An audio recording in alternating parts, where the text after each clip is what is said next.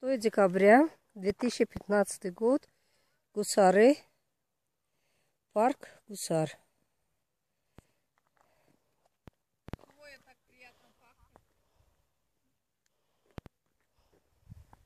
Azərbaycanda matəm elan olunub.